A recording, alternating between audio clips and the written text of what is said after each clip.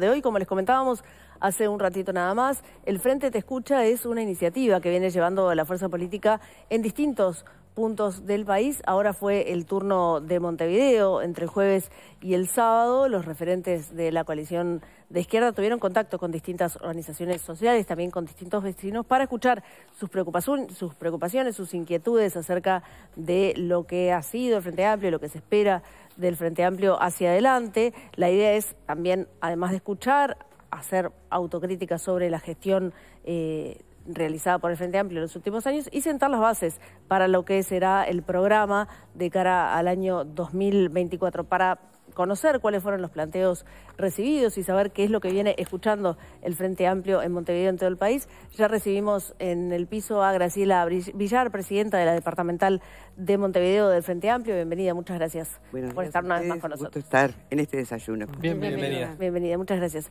Bueno, lo primero es, ¿qué fue lo que más escucharon en estos días? Bueno, fue variado y todo depende de las zonas, ¿no? Mm. Este, Montevideo tiene esa posibilidad de, hacer un corte y ver como múltiples realidades en un territorio tan, tan pequeño.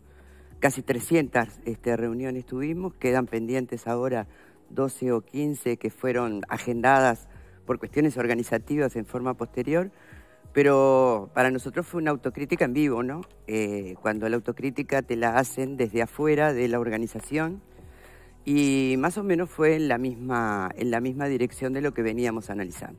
La pérdida del vínculo con las organizaciones sociales, este, la aplicación de algunas políticas que tenían impactos muy diferenciados en Montevideo que en el interior, eh, el no habernos acercado antes eh, y la constatación de eh, evaluaciones de política general positiva, pero con aterrizaje totalmente diferencial en el territorio nacional.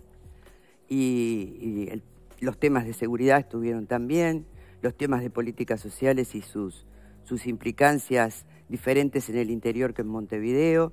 Y digo esto porque el, recorrido ha sido nacional, ¿no? Claro. Y las realidades este, en las pequeñas localidades de cada departamento fuera de las ciudades tienen impactos diferentes. ¿Y cuáles fueron esas políticas que impactaron tan distinto en Montevideo que en el interior? Bueno, de, eh, según la gente, ¿no? Según la gente, alguna política, por ejemplo, la discusión en torno a los cajeros automáticos que se dio en algún momento en poblaciones que tenían menos de 2.000 habitantes, eso apareció en forma muy, muy reiterada. El tema de los límites en la aplicación de las políticas sociales, eh, sin considerar a veces que una trabajadora formal, eh, madre de cuatro o cinco hijos, si, si percibe 15 mil pesos, no puede este, sostener a su familia y quedaba fuera por el rango económico. Este, fueron bien interesantes, bien interesantes porque implican que una política general en cualquier ámbito y en particular en el de políticas sociales eh, tiene impactos en la vida de la gente bien distintos de acuerdo al lugar donde esté, las redes que tenga y las posibilidades de, de alguna forma este, incorporar distintos ingresos fue bien interesante. Y, en Montevideo estrictamente, ¿cuáles eh, fueron los principales cuestionamientos? Porque cuando esto arranca, me imagino yo que parte del diagnóstico era, bueno, el Frente le fue mal en la última elección en el interior del país, Montevideo siempre es su feudo y, bueno, y de hecho renovó la, intendencia como lo viene haciendo desde hace varios periodos. Eh, ¿qué, ¿Qué críticas escucharon aquí en Montevideo? Bueno, el rango, este, si bien es menos intenso de esto que hablábamos del interior y las pequeñas localidades, también pasa por esos rubros. Pasa por el tema de seguridad, pasa por el tema de ese vínculo con la sociedad para atender problemas más específicos, más en forma específica. Esto que hablábamos de políticas más localizadas. Montevideo es un, es un territorio que tiene muchas asimetrías. Hay realidades muy, muy, muy diferentes. Zona de la costa y centro es una realidad cuando te vas acercando a zonas como Piedras Blancas, Manga, el Cerro Profundo, las necesidades son, son otras, ¿no? Y, bueno, y pero estuvieron en el, mismo rango, ¿no? En el mismo rango. ¿Y qué, podemos diferenciar en los reclamos sobre unas zonas de Montevideo y otras? ¿Cuáles se han presentado? Bueno, que en algunos lugares hay más énfasis en los temas de, seguridad y políticas sociales más, más focalizadas, por ejemplo, el tema de Casaballe donde hay una población allí, sobre todo de jóvenes en, adolescencias, que debieron haber tenido una atención y un seguimiento mucho más este, profundo durante estos 15 años de gobierno y que a veces la política, la política social aterriza pero no, no permanece cuando hay problemas estructurales. Eh, fue bien interesante esa, esa visualización porque, eh, por ejemplo, hay zonas donde hay una, una vulnerabilidad que se viene arrastrando de generación en generación. El impacto de una política social puntual que no se sistematiza y es multidimensional no resuelve el problema estructural que vos tenés. Y el Apenas le pone un paño. ¿Y el, reclamo, de la costa y el centro en qué se centraba? En la costa sobre los temas de seguridad, eh, las costas en mayor diálogo eh, desde el punto de vista de que tienen necesidades diferentes.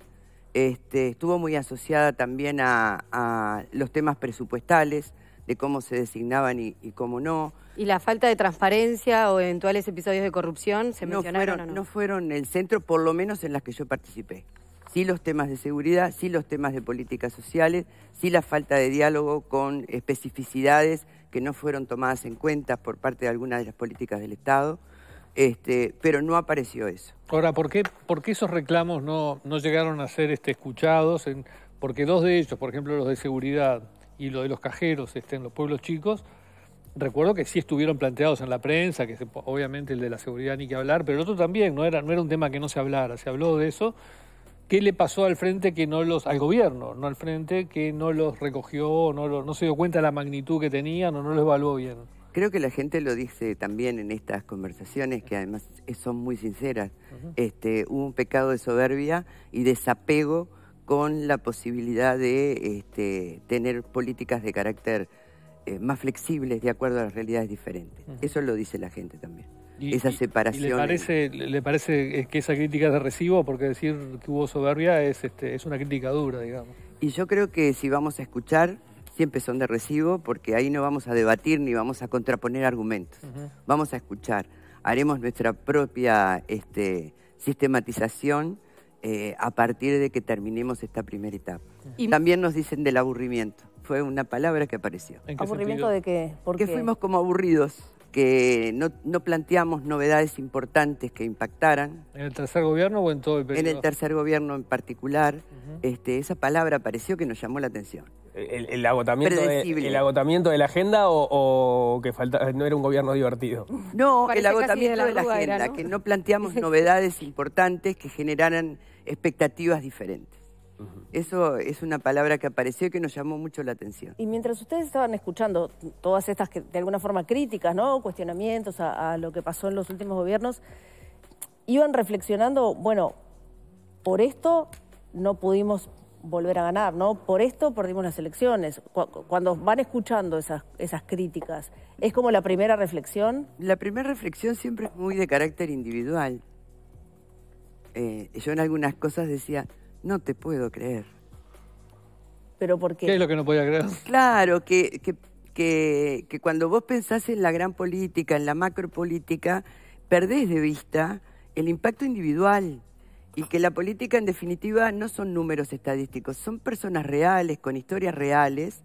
Este, no te puedo creer que estés enojado por esto, eso. ¿Cómo no me di cuenta? O cómo no tuve la percepción suficiente como para entender que podía haber un nivel de flexibilidad este, que, que subsanara un malestar que implicaba que la calidad de vida de, de una comunidad, de un grupo, fue muy interesante, fue muy interesante. ¿Y las, las críticas que recogieron aquí en Montevideo fueron exclusivamente sobre políticas a nivel nacional o una crítica a la gestión de la Intendencia? En realidad se entrecruzan en los gobiernos donde, donde eh, tenemos el gobierno del departamento, se entrecruzan este, porque impactan de la misma forma en el territorio o son parte de esa. Pero sí aparecieron, sí aparecieron tanto acá como en Salto y seguramente van a aparecer en Canelones. A la Intendencia del Frente Amplio de Montevideo. No, en realidad ahí la preocupación mayor que apareció, este, que es bien distinta, una cosa la, la preocupación que puede tener el Club de Golf con mantener su proyecto, porque es un predio departamental y, bueno, la seguridad de la Rambla, este, y otra puede ser el ABC planteado por, por el CH Matilde con el tema de la limpieza. Digo, son como realidades diferentes. Ahora, la, la, lógica de estos recorridos es acumular para eventualmente que esto termine siendo parte de la propuesta programática del Frente Amplio en, el próximo ciclo electoral, ya sea nacional o departamental? ¿O son insumos también para volcar donde, donde el Frente Amplio tiene responsabilidades hoy, como por ejemplo en la Intendencia de Montevideo? Y son dos áreas de trabajo complementarias, tanto la departamental de Montevideo, que ya está trabajando en la propuesta para el 2025 del programa, estos insumos van a ser parte de esto, como a nivel nacional, ¿no? Es sin lugar a dudas, a nivel nacional, estos insumos, una vez que estén sistematizados, van para la comisión de programa para analizar con mayor detalle con mayor detalle qué es lo que hay que proponer. Pero hay una articulación entre eh, las inquietudes que ustedes están recogiendo ahora y lo que está, está al alcance del actual gobierno departamental de Montevideo. Sí, creo que sí, hay muchas de estas cosas que son parte de lo que se puede que lo que se está trabajando ahora, que tiene que ver con la nueva propuesta de limpieza, con el plan B, con la pequeña inversión, los pequeños préstamos que se han tomado ahora para modificar el tema de la limpieza, sí, sí, está muy asociado. ¿y, cómo se da esa, esa articulación?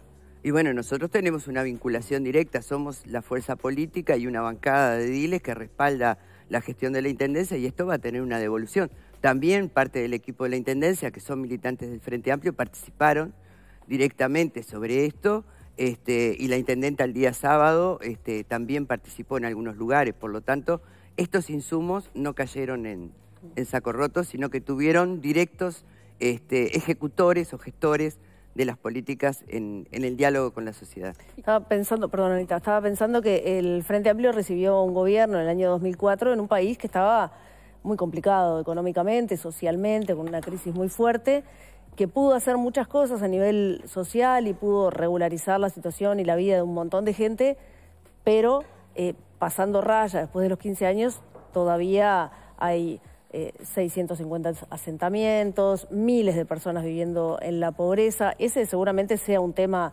importante para, para pensar en el programa. ¿Hay algo enfocado eh, concretamente hacia las personas que viven en situación de pobreza? ¿Ya está pensado cómo van a abordar ese tema? Tenemos dos variantes. El proceso del 2005, del 2005 en adelante, que fue sacar el 40% de la pobreza, mm. hoy tiene una tendencia de brutal agudización. Hay un retiro muy fuerte de las políticas sociales en los territorios que están más afectados, Casaballe, Marconi y todo lo demás, el retiro en la universidad, de los OCAT, de, los, de las posibilidades de que los gurises terminen el ciclo básico, por ejemplo, en el SACUDE, eso se ha retirado, hay un repliegue, vuelve a recaer sobre la Intendencia y tenemos un número que aumenta. Cuando, eh, cuando dejamos el gobierno había, de acuerdo a un censo que se hizo este, con Naciones Unidas, 3.000 personas en la calle. Hoy estamos hablando de que el número está en el orden de casi los 5.000 a nivel de todo el país. Hay que trabajar sobre eso, hay problemas estructurales. Esto que veíamos ahora, Juan Miguel Petit, con el tema de las cárceles, eh, la población en general es, población que ha estado institucionalizada, pero también hay nuevos pobres. Hay mucha gente de tercera edad y hoy están habiendo familias. Entonces, sin lugar a dudas, hay que redimensionar el tema de las políticas sociales, hay que desarrollar una política hacia el tema de las adicciones eh, que no se tomó fuertemente, si bien fueron parte del sistema integrado de salud y se lo entendió como un problema de salud pública, hay que generar nuevas políticas, nuevos espacios, hay que trabajar muy seriamente en esto. Montevideo es un, Montevideo en particular por su concentración de un 40% de población, pero en realidad hoy el tema de las adicciones problemáticas están a nivel de todo el país y Montevideo ha pasado a ser este, un aeropuerto donde se distribuye para el resto de América Latina. Eso hay que, hay que tomarlo. todos esos son debes que, son más allá de, cómo esté la situación ahora, también venían de, los gobiernos anteriores. Son debes que se han venido agudizando, mm. brutalmente. A mí me queda la duda cómo ustedes, eh, cómo el Frente Amplio recepciona estas críticas. Si meramente toma nota de que le dicen que son un gobierno soberbio o coinciden en que realmente ustedes tuvieron soberbia mientras gobernaban. ¿Cuál es la situación? ¿Lo reconocen? o meramente lo recepcionan? Bueno, eso es un, proceso que será colectivo, pero cuando la gente te dice, estuviste alejado de mí, no interpretaste lo que te planteé en tu momento, vos decís, bueno, es parte de la autocrítica. Y en los documentos de autocrítica está plasmado también en los que salieron del propio Congreso. Sí lo asumimos. Y el proceso de autocrítica que iniciaron después de haber perdido las elecciones, las últimas elecciones, no incluyó este diálogo tan profundo con la gente. ¿Cree que ahora sí este proceso se Creo que culmina fueron, de otra manera? fueron dos etapas distintas. El Frente Amplio es la fuerza política más grande de este país y es el único que se hizo una autocrítica que además es pública, como organización. Bueno, pero venían de 15 años de gobierno. Vaya si sería necesario. Otros gobernaron 100, nunca vi una autocrítica de ningún partido que haya estado en el gobierno. Eso es honestidad intelectual. Hoy, confrontar con la, con la ciudadanía y escucharla para incorporarlo eso, a esto que nosotros decimos, es una autocrítica en vivo, que no la haces entre los compañeros con los que tomas un café o discutís sobre la gran política. Estás hablando con Juana, con Manuela, con Tati, a los que a veces no los vistes, nunca. Estás hablando con organizaciones religiosas, también, que es lo que nos ha pasado. Y te devuelven este, estas visiones, creo que enriquece ese proceso. No tomarlo sería pensar que es un frente amplio que no está dispuesto a volver al gobierno y que no es un frente amplio que no estaría dispuesto a proponerle a la ciudadanía un programa de gobierno transformador de su propia historia. Y para, y, para Yo creo que vamos por ahí. Para un eventual futuro gobierno del Frente Amplio, ¿no? Mm. O en general, para el gobierno de cualquier partido político, ¿qué es lo que tiene que hacer para que no le pase eso? Es decir, ¿cómo es que no se aísla de los reclamos de la ciudadanía? O sea, ¿qué le pasó al frente que no los escuchó esos reclamos? Bueno, yo creo que en primer lugar hizo poca política, política en serio, esta territorial. Eh, creo que la gestión de gobierno absorbió a sus grandes cuadros, a sus militantes de toda la vida y nos despegamos del territorio. Ninguna fuerza política en, en ningún lugar que se despliegue de, la, de su base natural de trabajo y de desarrollo como, como actores políticos puede sobrevivir mantiene. Yo creo que en esto los gobiernos pueden ser alternativos, las organizaciones políticas son las que, las que siguen, las que mar marcan los procesos históricos y bueno, creo que como fuerza política aprendimos muchas cosas. Ahí en, vuelvo a esos dos temas que usted nombró específicamente, el, de la seguridad. Ahí era un tema que estaba en la prensa todo el tiempo y la prensa era acusada de, bueno, de, de operar de alguna manera, de exagerarlo, de no, de no, bueno, de, tratar de perjudicar al gobierno a través de esa información. Esa era una acusación permanente que recibíamos los periodistas. Y en el tema de los cajeros en los pueblos chicos, recuerdo que era un tema importante de un solo Uruguay, por ejemplo, y bueno, eran acusados de ser este, un brazo del Partido Nacional prácticamente. Es decir, le dieron poca eh, o, o, menospreciaron al periodismo y a las organizaciones sociales. En estos dos casos concretos me parece que eran dos informaciones que por un, por un lado, por el periodismo y por otro lado, por una organización social importante, estaban sobre la mesa. Bueno, en Porque términos... el periodismo ha sido acusado, por ejemplo, del Plan Atlanta y una cantidad de cosas en, en su momento, ¿no? Y... No, no fue la fuerza política como tal, fueron sí. algunos actores, algunos actores. Hubo un de cualquier forma, que... lo que quedó clarísimo es que las políticas de seguridad este, no se resolvían eh, de un día para el otro. Pero también que el problema era real, que, el que problema, la gente lo vivía. Que el problema era real y la gente lo vivía y no era una sensación térmica, uh -huh. era una realidad.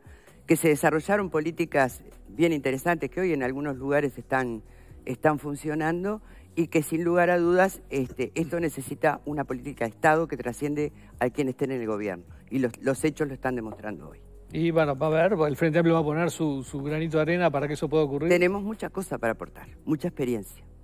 Mucha experiencia. ¿Quisieran trabajar con el gobierno en este punto? Yo creo que es un tema que hay que ponerlo en el centro de la mesa porque no lo va a resolver ningún gobierno. Como quienes hoy es gobierno hizo una campaña fuerte de oposición en contra de las políticas de seguridad, hoy estamos demostrando de que esa narrativa no era verdad. No podemos decir que no le vamos a dar armas a la republicana en Rivera porque tenemos miedo que lo asalte.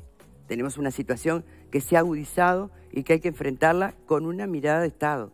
Y en ese sentido, en ese el sentido Amplio, ¿cómo, cómo, ¿cómo, piensa colaborar o, o, aportar? Hay que hacer una mesa de diálogo. Y la ha propuesto tanto el Frente Amplio como Fernando Pereira hoy, como los parlamentarios. Hay mucha cosa para analizar. Eso en políticas de cárcel. El respaldo a Juan Manuel Petit no, es, no puede ser solo retórico. Necesitamos realmente trabajar con, con las cárceles, con las condiciones de vida, con los derechos humanos, porque si no atendemos eso, eso repercute después en la vida de toda la sociedad. Graciela, recién comentabas, enumerabas algunos de, de, los temas centrales que se pusieron arriba de la mesa en estas reuniones a las que has asistido. ¿El tema del déficit, cómo lo manejó el Frente Amplio, no estuvo arriba de la mesa? No. Porque recordemos que recibieron en 2005 con un déficit de 0.5 del PIB, lo devuelven 15 años después con un 5% del PIB, tras más de 12 años de bonanza económica. ¿La gente no criticó eso? No, no porque la gente que con la que te estás reuniendo recibió lo que nunca había tenido, que eran lo que no habían tenido desde hacía muchos años, consejo de salario, aumento de sueldo. La, la gente pone eso arriba de la mesa. Sus condiciones de vida han cambiado sustantivamente. No fue parte de la, de la devolución. Por lo menos en los, en, no estuve con las cámaras de comercio ni nada de eso, pero no estuve ahí. Eh, tú sos presidenta de la departamental de, Montevideo. ¿Cambia en algo eh, al Frente Amplio cómo se para de cara a, a, la próxima compulsa electoral departamental el hecho que el Partido Nacional o la coalición, pero por lo, por lo pronto el Partido Nacional aparezca con una figura y un este, y una planificación distinta eh, a la que venía dándose años anteriores. Me refiero concretamente a la figura de, de Laura Raffo. Y bueno, son los escenarios este, son dinámicos y en cada escenario vamos a ver cómo nos vamos a parar. Pero bueno, creo que fortalece al Partido Nacional. Este, hay que ver si Laura va por la departamental todavía. Pero de cualquier forma me parece que hay un reposicionamiento y es re interesante porque también nos desafía como fuerza política. Nosotros tenemos que renovar un voto con la ciudadanía montevideana después de 35 años de, comparecencia en el gobierno. ¿El tema de la reforma educativa, la situación de la educación apareció en, los reclamos de la gente? No, no, no fueron los Sí, sistema, es este, sintomático, ¿no? Es decir, este es un, un tema que, no sé, este, esto salgo de la entrevista un poco y, digo algo que pienso. Si todos creemos que es necesario y sin embargo por algún motivo parecería que la gente no lo, no lo reclama. Claro, pero hay, eh, también tiene que ver con, con, el tipo de organizaciones con las que te reúnas que reclaman, digo, por ejemplo, la Liga de Baby Fútbol lo que reclama es la necesidad de ser atendido como ser un área muy importante en el deporte que nuclea. Digo, cada uno... Era su, su, su, pequeño lugar en la sociedad y no toda la gran ¿Cómo impacta lo que, lo que ellos hacen este, y qué apoyos no tienen? Porque es así, si te reunís con la universidad, probablemente, yo no estuve, pero con la Universidad de Montevideo, este, los problemas hayan estado centrados más en los temas educativos.